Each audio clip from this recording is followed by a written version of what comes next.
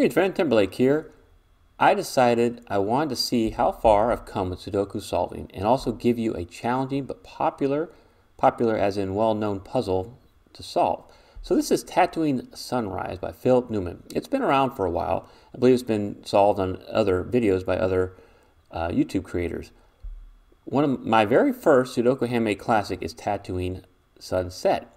And that was a hard puzzle for me to get through. Um, I was not that experienced with working with jellyfish, swordfish, uh, and there's some other intermediate techniques. It took me a long time to solve. In fact, I had to redo it, and then my video is me telling you how I solved it. So what I wanted to see here is if I'm going to do a live solve of Tatooine Sunrise, which should be about the same difficulty level, and it's probably going to have a lot of the similar techniques, the, you know, the swordfish, jellyfish. Let's see how far I've come in the last few months. Um, I'll put a link for the, the uh, puzzle below if you want to solve it. Thanks so much, Philip Newman, for giving me permission to solve these on my channel. And with that, it's solving time. So I showed all the candidates because I know it's going to be a pretty hard puzzle to solve. And I remember uh, when I you know, I've heard about this that, you know, there's not that many candidates to go with. And because of the way they're set up, you know, you're going to have like, like I have these pairs in rows three and four um, you're probably going to have to use, like I said, fish type patterns to really make any progress through it. But let's see what else I can find uh, just starting off before I move on. So I'm kind of scanning through the rows right now this, and to see if there's any uh, naked hidden singles that I can kind of work with or any pairs that I might be able to eliminate. And right now I don't see much uh, yeah, as I'm looking now, I'm coming row six right now. Not seeing much of anything here. And another thing about doing Philip Newman puzzles, amazing. He's a super brilliant guy. Is he likes to kind of embed these little patterns, and once you get the pattern down, usually you'll have to use that technique or strategy more than once to kind of keep going through the puzzle. All right, I didn't see anything I can solve right off the bat. Just looking for naked hidden singles.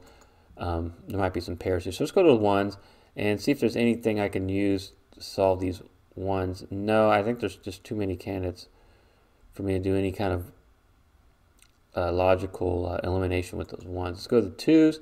Um, I feel like there's something here with the twos. There is a swordfish with the twos, so I, I saw it first with the columns. I'll just kind of highlight that because we will be able to make an elimination. So what you see here with the swordfish, is that the twos are limited to the three threes of the rows, rows one, six, and seven, and these three columns, row, columns two, five, and eight. That means the twos have to be in that. If you tried, um, so we know the twos have to be there. We can eliminate any of the other twos that are in those these rows, one, uh, six, and seven, right? Okay, so that cannot be a two. That can't be a 2, that can't be a 2. And if you don't know what I'm talking about, try to put a 2 here. And what will happen is you'll eliminate the 2's so possibly up here. Then you'll have three 2's to place in two, uh, in two rows, and that ain't going to work. You can't do it. All right, so we made the eliminations there with the 2's. Cool, so that was our first swordfish. I don't see any other eliminations I can make there. Now let's go on to the 3's. Again, now I'm kind of looking for another swordfish pattern. Uh, yeah, and of course, yeah, we see one. Hopefully, do you see it? This time I'm looking across the rows. Uh, what's also interesting is swordfish a lot of times will work whether you're looking across the rows or the columns.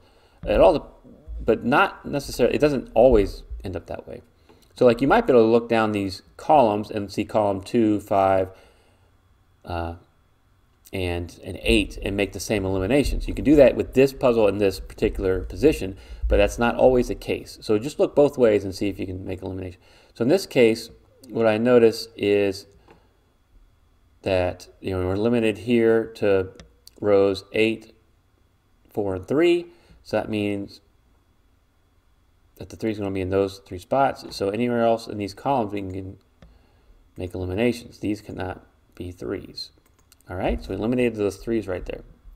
But if you had done these, the if you had done the columns in the green, you would have gotten the same eliminations. Kind of cool. Let's move on to the fours. Uh, too much going on here with the fours. There's there's too many candidates. I can't make any eliminations there. Let's go to the fives. What am I seeing with the fives? Uh, there is, yep, another swordfish at least. So hopefully you're you're following along with me. Uh, again, I already said if you checked out Tatooine Sunset, you'd have a pretty good idea of how to do these because this is real similar. So won't go too much into it, but what you can tell is we can eliminate all of these fives. So this is an ingenious way. Like you do a Newman, Philip Newman puzzle, you figure out the technique and you apply it over and over again, you're going to get good at finding and solving those techniques. And sure enough, yeah, I can see, you know, so now it's like, oh, it's, you know, I'm starting to see these swordfish pretty quickly because I know what to look for when you show the candidates. Now, if you don't show the candidates, much harder to find these, obviously. But see, these are like the base uh, sets, which are rows, and so you're going to eliminate from the cover sets, which are the uh, columns. So you can get rid of all these sixes. And we're trying to whittle it down till we get, you know, only two or, you know, one or two candidates remaining so we can start making some of those eliminations. So a little bit of patience required with the with the Newman puzzle. All right, here's our next one. Uh, just going down columns one, six, and seven. Uh, other thing to keep in mind is you, it'll be two or three, right? If, if it's a swordfish. You don't have to have an all three. Uh, the logic still works the same. This is going to lead to some actual solving here because now we have a naked single one. But I'm going to do my due diligence and make all the eliminations first. And hey, we can solve that for an 8. Great. And you see that makes that a 7-9 naked pair. So now we can get rid of these 7s and 9s throughout the rest of block 1, which 2-9 make a pair, 5-6 naked pair. Any other eliminations? I got a 179 triple. I'll just show the triple right there to show that you know I can get rid of all the other ones, sevens, and nines, and it gives us a two, three, eight triple across row three. Any other eliminations I can make? Uh, 179 triple here, and this is the other key part I remember from doing Tatooine Sunset is in between some of these swordfishes, you had to kind of look for uh, restrictions in the rows and columns that you're given. It wasn't just, oh, it's going to be elimination and I can solve for an 8. It's this kind of like cleaning up to look for, and which makes these puzzles just fantastic fun and really will stretch you and your limits on what you're doing. Okay, that is all that I see that I can do with the sevens. Let's go to the eights. Yeah, sure enough, we got another swordfish. And to me, you know, it, sometimes I, I see the rows first, sometimes I see it using the columns first. All right, so we can eliminate. So those are the, uh, columns 258 are the base sets. So the cover sets, we're going to be making eliminations across rows 2, row 6, and row 7. Nice.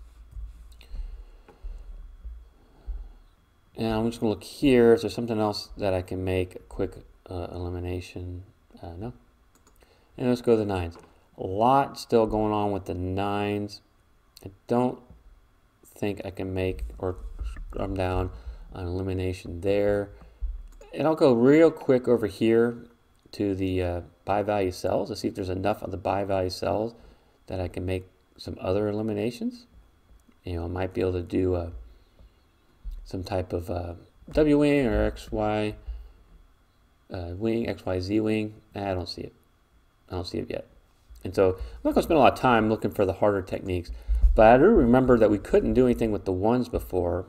Like there wasn't enough ones for me to make uh, a swordfish. So I'm going to go back to the ones and see if you know anything else got revealed. Uh, nothing here. I do have the strong link there, but nothing there with the ones. Back to the twos. We now have a, restriction on the twos. Uh, nope, that can help us making solving. No, I don't see any restriction on the twos. 8, 2, 2, 3, 3, 2, 2, 8. We've already eliminated an 8 right there and an 8 right there. Okay, I was just looking at a nice little, kind of like a two-string kite.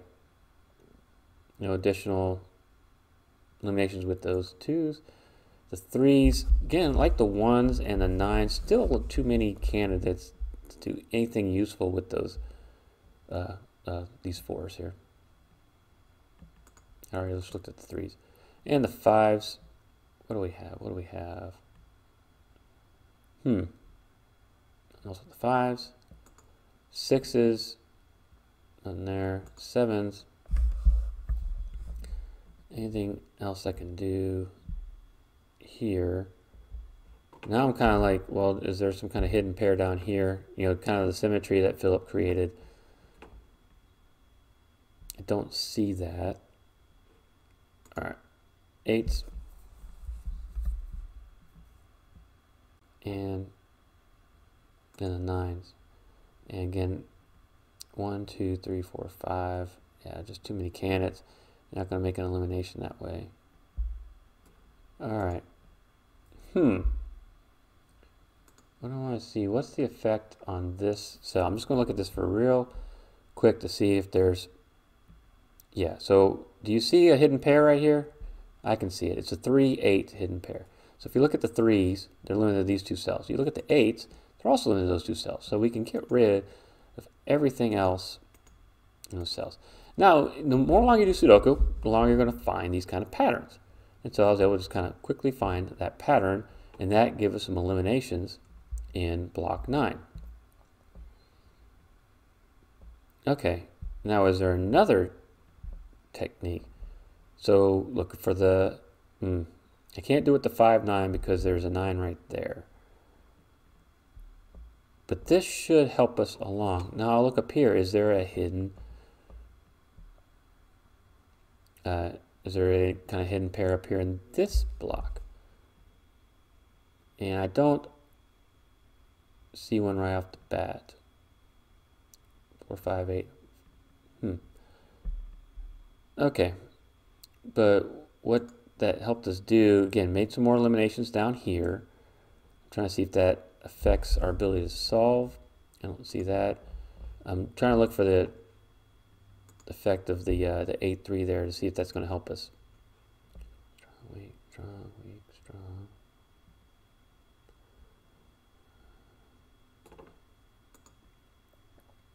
Uh, fours, no, didn't really eliminate any of the enough of the fours. Uh, the fives are still good. The sixes, still good. Sevens, okay. And I'll, i guess I'll focus on the on the nines, right? Because we eliminated some of the nines here as well. So one, two, three, four, five, two, three, four. Five. Still too many. Hmm. Candidate cells there. So now let me look here at bivalue cell. So we have a 8, 3 here and a 8, 3 here. So let's see here. 8, 3, 3, 2, 2, 8, 8, 3, 3, 8. 8, 2, 2, 3, 3, 8. All right, so we've kind of made those like XY chain type elimination. So that's not where we're going to get the fruit for this puzzle. But I know I'm on the right track. Um, what I need to look for, and maybe you're seeing it, is probably a couple more of these hidden pairs or maybe uh, triples coming across some of these rows of columns. That yielded some fruit before, and so now I got to think that might be the path to go on now. Like I have a 1, 4, 1, 4, 9, but don't have quite enough to make another elimination along that row. So now I'm going to see here, what is it that's going to get us across the finish line, as I call it. And the best way to kind of go through this would be these eliminations. Two, three. So now I'm kind of going to focus on these and see, oh, is there some kind of, and there is. So you look right here. What's the other candidate that's locked in here with these twos? It's the eight. You see that? The two and the eight are in the same two spots. Boom, boom. So we can get rid of all these 1, 4s, and 9s. I think 1, 4s, and 9s are the ones we couldn't do the swordfish with. So that's kind of a one way we're getting about this. This is tough stuff. And how does that affect our puzzle? One, two, okay, four, because that's what we've been eliminating, ones, fours, and nines. Not yet, and nines. So still not enough restrictions to solve the puzzle. Hopefully you're following along with what I'm what I'm doing here. Uh, I'm like, oh, I don't have enough restrictions. I gotta keep I got to find some other eliminations. So now let's, I noticed that the twos and eights, now I'm kind of looking here, you know, two, four, nine, twos and threes. So you look in here and you go, wait, the twos and the threes are limited right there. You see how that works? So we're to, this is a hidden pair, another hidden pair. So now we can eliminate that, those fours and nines. Nice, huh? All right, anything else? Two Ys, two four, eight, two four nine, two eight, good. Let's go to threes and see if there's any of these eliminations we can make the threes. Oh, go back here. Looks like the two, three is another hidden pair right there, right? See how it doesn't move? The candidates are the same. One, four, one, four, nine. And in every case, we're getting rid of ones, fours, and nines. I think we're, we're well on our way to solve this puzzle. Uh, just focus on those twos and threes. Let's go back to the threes. Any other hidden pairs? Nothing with the threes. And I'm basically at a point where I can actually use something to solve what these fours are. All right, let's look at the fives. Um, and so I'm looking here, fives and sixes where I got that naked, or that hidden pair. Three fives there, five and a four, nope, five and a nine. Nope, there's more nines, five and six.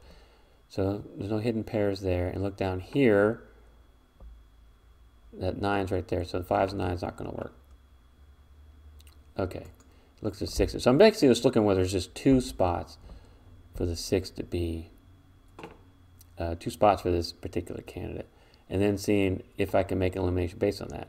So I can't do six and seven.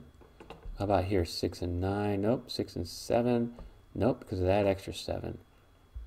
Uh, what about here? Six and nine? Nope. Six and four? No. Six and one? Nope. How about the sevens? Anything maybe that are just seven and nine limited? I'm looking in here. Nope. Uh, looking here in block three. Nope. There's three spots for seven, so not enough restrictions yet. One four seven, one four seven nine. Nope. Okay, go the eights. I think we've just about cleared out all these restrictions that we were looking for. So I'm going to look here and see if there's any like 8, 9 pairs that I might have missed. Okay, I don't see any. Uh, how about up this column? You know, like a 4, 8, 4, 8, but there's another 4 right there, another 4 right there. Um, but with, so can't make that elimination. All right, and how about cut, cut across this row? I don't, no, the 4 can be there, so it can't be a 4A elimination. Tough, tough, tough puzzle. But what do we have here? What do we have here? We have a jellyfish. All right. I will show you the jellyfish. And we'll be able to make some more eliminations.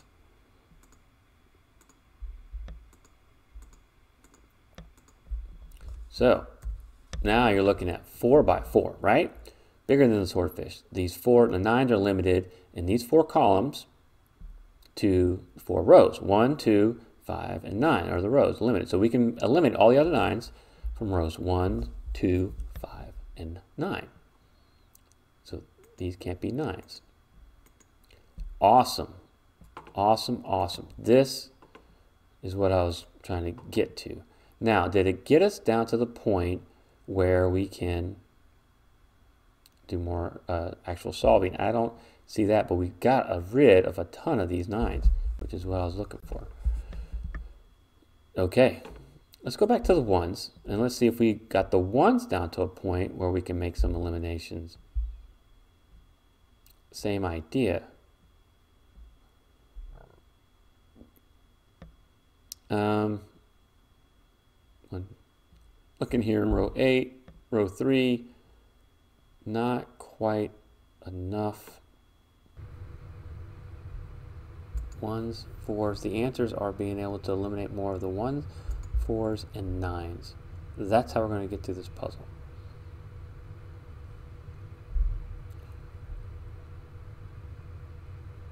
two, three. Hmm. Oh, well, how about if I just solve this 9 right here? That might help. My goodness, how long was that sitting there, people? I am so sorry for wasting your time there. That was pretty easy to see. Okay. We gave ourselves a hidden single 9. Let's move on with the puzzle then. And so what else can we glean from these nines? Uh, anything right here? No? Let's go back to the ones. Now, we have what we need to solve this puzzle. Swordfish ones, right there. Eliminate these ones, right there. Cool. Uh, oh, let me uh, highlight this, make it look a little bit easier here. Sorry. Need to keep up the theme. So we can eliminate all the rest of these ones as well. Bye-bye all your other ones. And by eliminating those ones, there's only one one left right there. So we can solve that for a 1. Okay. And the only other place where we haven't done the solve, we, no, and we can solve this for a 1, would be with the 4s. And so we did our thing with the 9s. We did our thing with the 1s. Let's go to the 4s. And what is it going to be with the 4s that are going to get us through this puzzle? And it's going to be a, I see it as a jellyfish right now. Alright, hopefully you see it too. And there might be an easier strategy or yeah what do we got here? One two three four. One two three four. One two three four right? There we go. So this is a jellyfish. I've already explained how to solve these. And then we'll go up and we can get rid of all those extra fours. And what does that do to our puzzle now? Can we solve a four? Uh, no not not just yet. I thought that would just kind of reveal it all. Um, it lowered the puzzle down, but it didn't reveal it all. Okay, so what do we have then, people? Nothing with the ones I can do. What about the twos? Now I'm just going to look for something like a simple uh, uh, two-string kite or maybe some kind of skyscraper. There might be those kinds of situations that'll help us get to the very end of this puzzle. Because we're at the end now. Alright. Nope. The fours are all looking good. The fives. Um, can't make more eliminations with the fives. The sixes are looking good there. The sevens. Nope. There's our in single seven, six, five, six. Sweet. Seven, one, four, nine, five, six. Okay, now we got it. Now we've cracked this puzzle. Wow, that was quite an experience. But, hey, this was a live solve. I had never solved this puzzle before. I just knew, well, if I could do Tatooine Sunset, and I've gotten really good at all these swordfish and jellyfish, and then being able to spot the pairs and the triples along the way, which I knew were the key uh, intermediate steps, I'd be able to solve this puzzle. Uh, it's rated very difficult, without those techniques, there's not really an easy way to solve it. And the way Philip does these, it's kind of like he's putting a bunch of layers. You have to kind of go through each layer to get yourself to the virtual solve. Super awesome, very good for learning techniques. Also something you can't do very simply. You have to apply logic and be patient. Thank you so much, Philip, for letting me feature your puzzles on this channel. Thank you all so much for watching. Please watch these other videos as you're um, waiting until I send out some new content. Hopefully I'll get something out to you again soon here, uh, Fridays and Sundays. Thanks again.